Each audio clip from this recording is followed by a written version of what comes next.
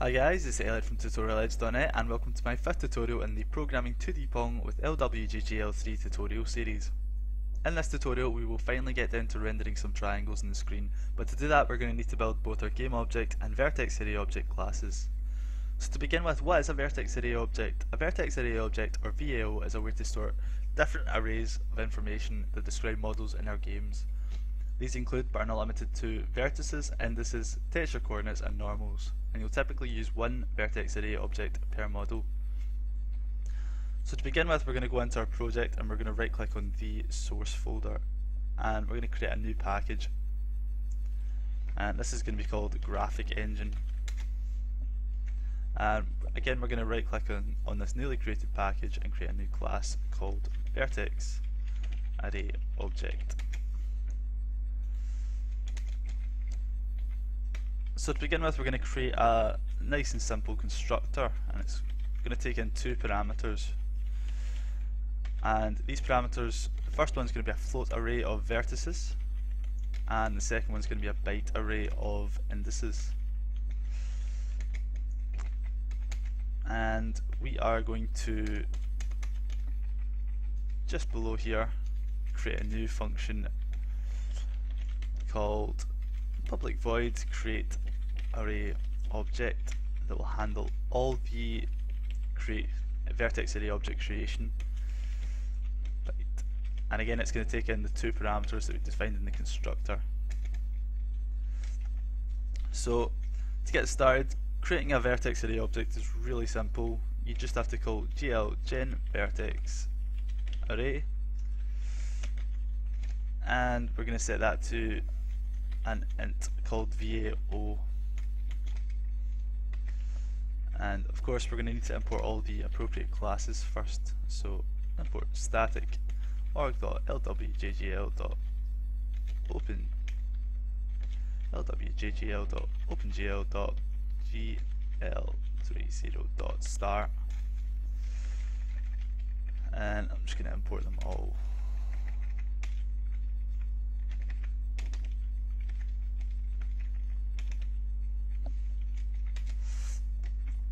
Okay, so now that we've created a VAO object, um, we're going to want to bind it so that we can actually set some data in it. So GL bind vertex array, and we're going to pass in our VAO ID. Okay, and next what we're going to want to do is add our VBOs to it, and I'm going to split up our next two VBOs into two different functions just so they're nice and um, segregated vertex vertices. Buffer. And this is going to take in our float array of vertices. And at the start we're going to create a new ID so int VBO ID and we're going to create a new buffer. And we're going to use GL gen buffers to do that. Okay. Again we're going to bind the buffer to open it going to set the type of buffer uh, and that is GL array buffer and we're going to pass in our VBO ID okay. And next we're going to pass the data we want into this VBO so GL buffer data GL array buffer same as before. And we're going to do create float buffer and we're going to pass in vertices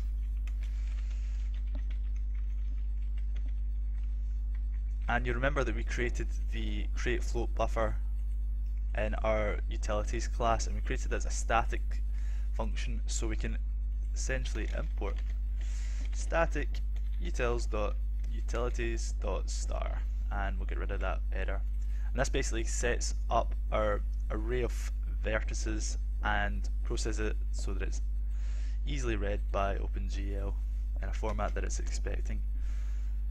So now that we've actually passed in the data to our buffer, we're going to want to do GL vertex trib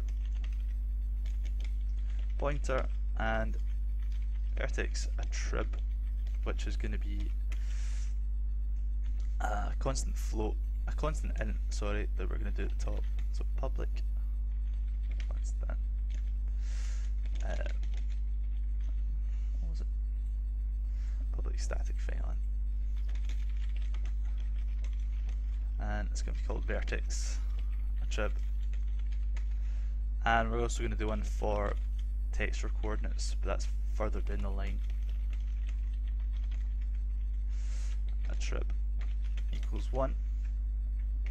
Okay, so we're basically telling OpenG the GPU where in the vertex array object that we can find our vertices array and we're sending it to the first location or location 0. Next we're going to set the size of each vertex and it's going to contain three different um, vertices. So we have three there. And after that we're going to want to set what type of data um, the VBO stores and it's going to be GL float because we're storing float, uh, an array of floats. Next it's going to be whether or not it's normalized and it's not. So we use false and the last two parameters we can just write 0 and 0 for and we don't have to worry about them. Okay, so now that we've actually populated our VBO and told the GPU where to look for this VBO, um, we can close the VBO and it's the same as it was for opening it. So GL bind buffer, GL array buffer, instead, and instead of passing the VBO ID to open it, we actually pass in 0. Okay, so that's our create vertices buffer done, so we can call that up here. And we're going to pass in vertices. Okay, so the next thing we're going to want to do is create our indices buffer. So same again, private void create indices buffer and we're going to pass in our array of bytes. Okay, so int indices buffer object equals gl gen buffers. This was the same as we did it for the vertices buffer object. And next we're going to open our buffer and instead of using the GL array buffer um, as we did up here for our vertices buffer we're going to use something called a GL element array buffer and this is a special type of buffer that basically um, is used for indices so IBO and next we're going to want to pass in our data as we did up here. So GL buffer data. Gl element array buffer. And create byte buffer. And this and again we're going to want to do gl static draw now you'll notice this throws up an error that's because we actually haven't programmed this yet so we're going to go into our utilities class and we're going to create a new public static method. Um, it's going to be a byte buffer, so it returns a byte buffer. Create byte buffer, and it's going to take an array of bytes. Byte buffer buffer equals buffer utils dot create byte buffer data dot length and we're going to want to import our byte buffer. So same as we did for the float buffer, buffer dot put data buffer dot flip and return buffer. So that's all we need. And it's actually different for the indices buffer. We don't actually have to close this one as in doing so we would actually remove it from our vertex array object. So that's us pretty much finished with the indices buffer. So we can actually go up here into our create array object function and call create indices buffer and pass in the indices as the parameter.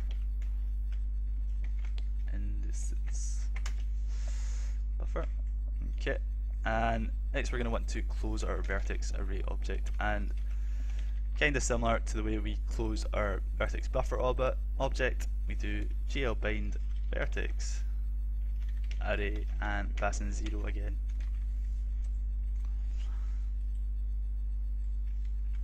Okay, so now that we've got all this functionality, we want it to be able to call it every time we create a vertex array object. So we're going to put in create array object and vertices and indices. Okay, so that's all we need for the vertex array object class. And now that we've done that we can move on to creating our game object class. And it's going to take a similar look to this. So I'm pull this out. And same as we have it in this one we're going to do new package and call this game engine. So right click game engine new class and we're going to call this game object.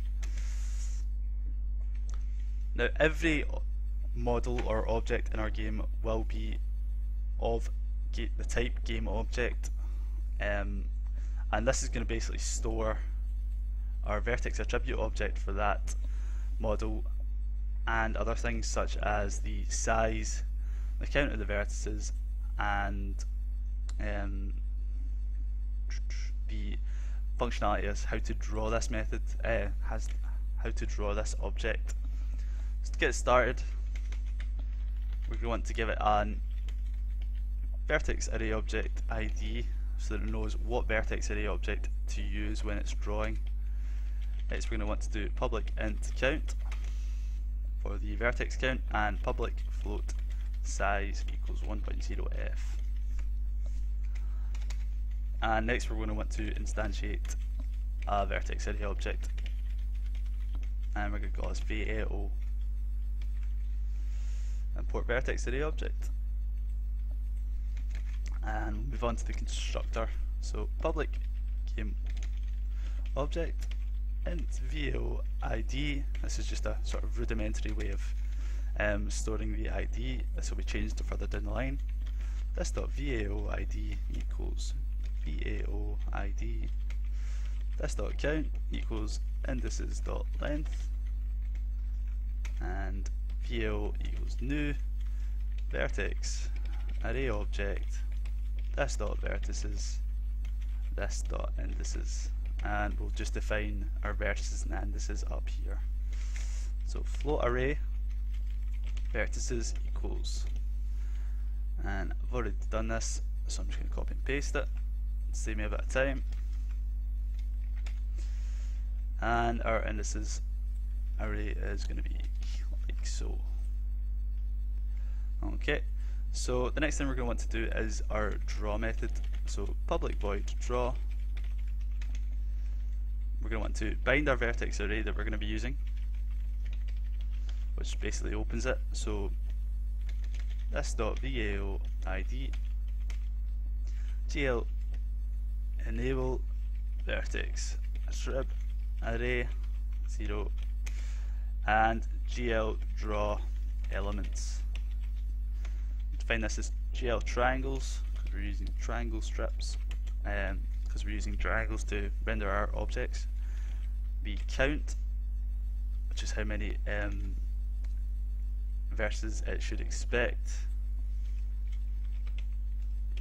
Because we're using unsigned bytes, um, GL unsigned byte, and the initial offset is 0 because we want it to start at the very start.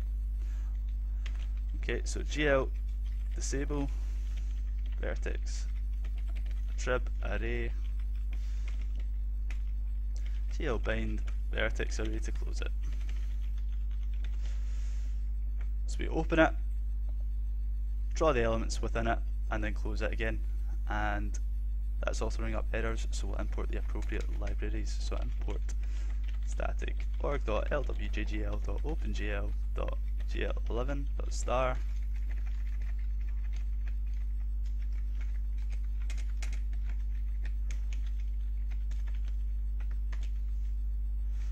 and that should get rid of all our errors.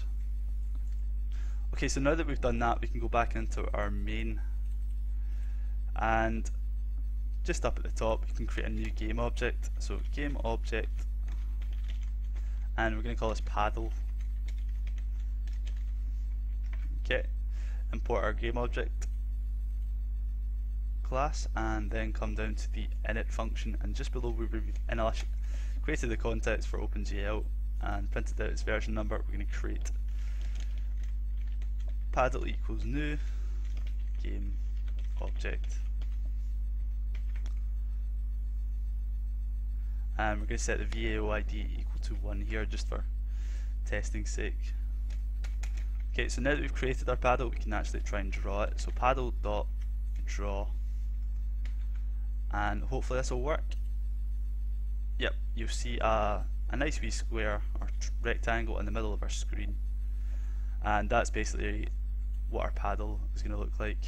Um, so that's all for the vertex array object and game object classes. Um, in the next tutorial I will be looking at shaders and um, how to render textures. So if you find this, use, this tutorial useful at all then please leave a like in the video and subscribe to my channel for more LWJGL3 tutorials. Cheers!